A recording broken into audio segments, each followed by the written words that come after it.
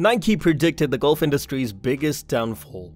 In this video, let's find out how Nike predicted the golf industry's biggest downfall. Stay tuned to find out how Nike predicted the biggest downfall in golf and what they decided to do. Nike resisted for more than 10 years before deciding to give up on the equipment industry and instead focus on other aspects of its booming business. Remember that Nike shuttered its falling ice hockey operation, known under the name Nike Bauer, in 2007. The choice was made 13 years after the biggest sports equipment manufacturer in the world entered the hockey market by acquiring the Canadian firm that makes Bauer skates and other gear.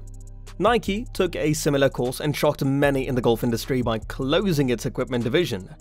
Due to the company's decision to stop producing clubs, balls, and bags, sponsorship agreements with professional golfers like Rory McIlroy and Tiger Woods are in doubt. The company declared that moving forward, it will put more emphasis on its areas of strength, which are footwear and apparel. Do you think Titleist and Callaway executives lamented the plight of the golf industry when they heard about Nike's decision? In the end, it's the correct choice. The decision which Woods and McIlroy both bemoaned had the sad outcome of hundreds of workers losing their jobs.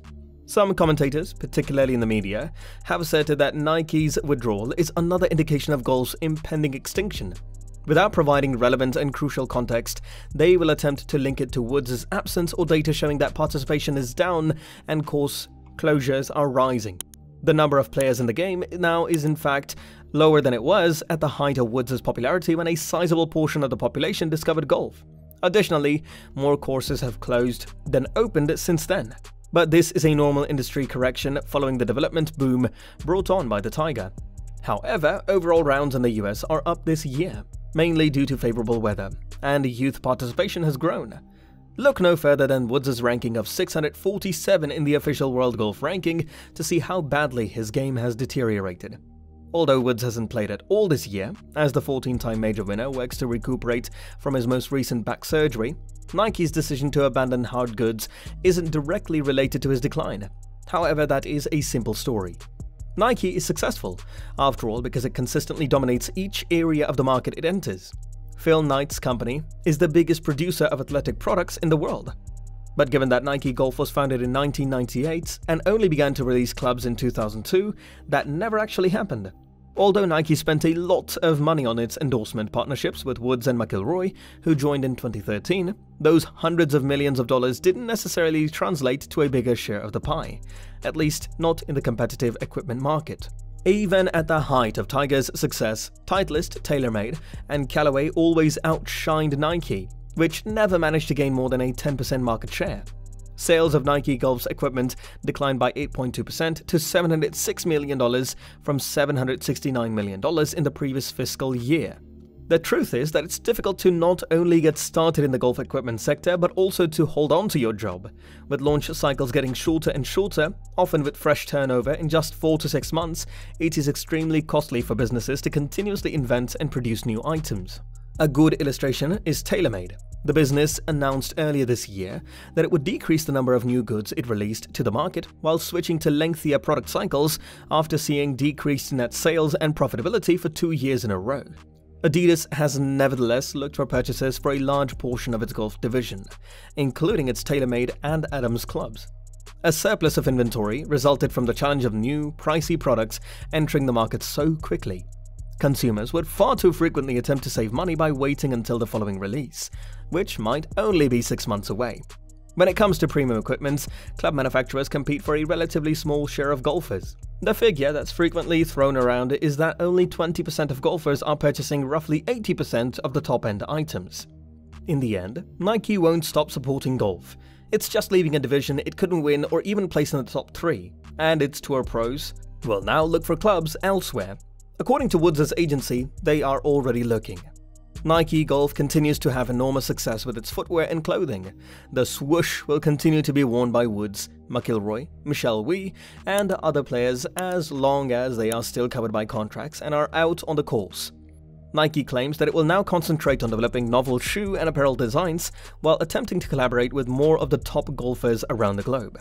There won't be any more brand new Nike clubs, balls, or bag, even though Tiger is no longer important and Nike has pulled out of the hard goods competition. Golf isn't dying. Sometimes it's just a simple or facile narrative. Since golf has seen a decline in participation since its heyday, it follows that the sport is doomed. Simply put, it's untrue. Nike was one of the top golf manufacturers in the 1990s. Nike performed a fantastic job at promoting its goods and employing athletes like Tiger Woods to help the growth of its brand. It would have been difficult to find a golf store or warehouse that didn't carry Nike golf clubs. Since Nike is no longer a participant in the golf club industry, other businesses have entered and stolen Nike's market share. The business realized at this point that the golf club division was not profitable enough to continue.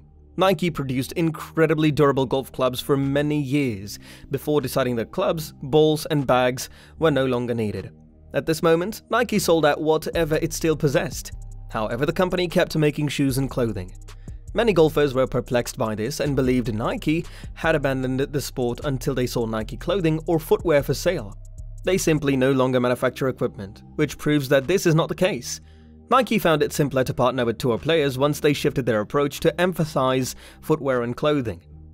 Before that, it was challenging to get golfers to sign up for a full equipment contract due to Nike's limited product line. Golfers are significantly more likely to sign a deal with Nike for apparel or footwear now that the apparel and footwear sides of the business are expanding. For many years, Nike was one of the top apparel manufacturers and it was Nike that popularized the idea of athletic wear. Adidas and Under Armour have since expanded on this, but Nike was a pioneer in this and transformed what golfers look for in apparel. It's interesting to note that as soon as Nike left the golf equipment business, they began to secure contracts with several outstanding golfers for their apparel and footwear. These include athletes like Tony Finau and Brooks Koepka.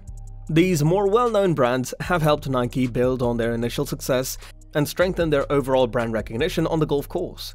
Nike was producing golf bags, clubs, and balls when it stopped producing golf clubs. All of those durable goods items were retired.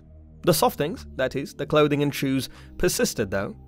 There are probably some Nike golf caps available for golfers as well. Their performance-oriented textiles and materials are the main area where they may benefit players. In addition to the shirts and pants, you will also notice this with the shoes. There are numerous styles and features available for Nike golf shoes.